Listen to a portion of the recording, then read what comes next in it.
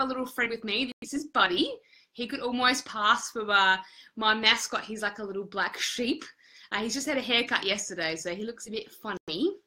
Um, but today, we're going to be talking to you about the three uh, biggest costly mistakes people make when applying for a loan. So it can be a little bit frustrating uh, sometimes when you're a broker because you're trying to do the right thing by your client and you're trying to help them achieve a result. And sometimes the client doesn't understand that you're on their side. You're trying to help them achieve their goals. And often they'll just go and do stuff which, uh, buddy, come on, which can mess up the finance application. So, biggest mistake number one that people make is they don't declare everything.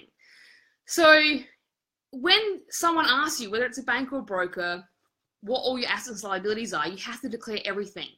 So, all your debts, even if you have credit cards where you don't have anything owing and maybe you don't have to make any repayments on it, but you still have that debt, it's still a liability, it's still outstanding, so you have to declare it.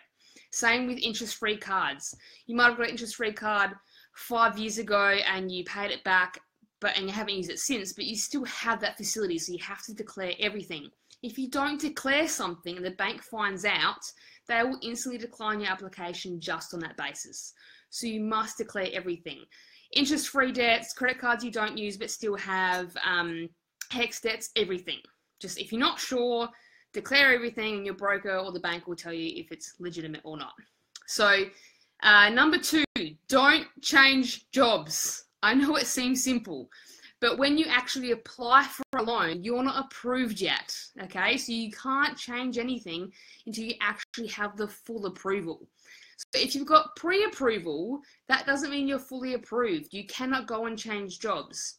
I've had an application where a client uh, wanted to restructure their investment portfolio. So it was very, very complex, lots of properties, and it took me a long time to put the application together.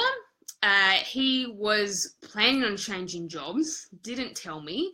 I told him when the application was submitted. Uh, about five days later, the bank called me because I'd done the employment check and was like, "Oh, your client doesn't work there anymore. And I'm like, what? What do you mean? So I called my client and was like, have you changed jobs? And he's like, oh, yeah, I got another job offer. And I'm like, why didn't you tell me? um, so his application was instantly declined, and he actually shot himself in the foot a little bit on that because that was the only bank that would accept him. So he now has to wait another six months to a year before he can apply again because of his situation. So Tell your broker everything is the moral of the story and do not change jobs. If there's anything that's changing in your situation, let your broker know and don't change anything until you're actually approved. Which is kind of like brings us to the third biggest mistake, which is, you know, along same lines of don't change anything.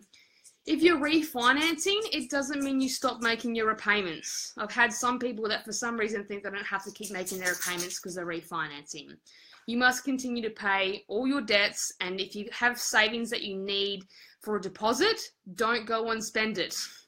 So your situation must remain the same from application to formal approval.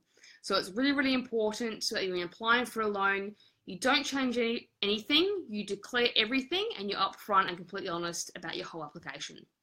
Hopefully that's been helpful, and uh, hope you enjoy meeting Buddy. Have a good weekend, guys.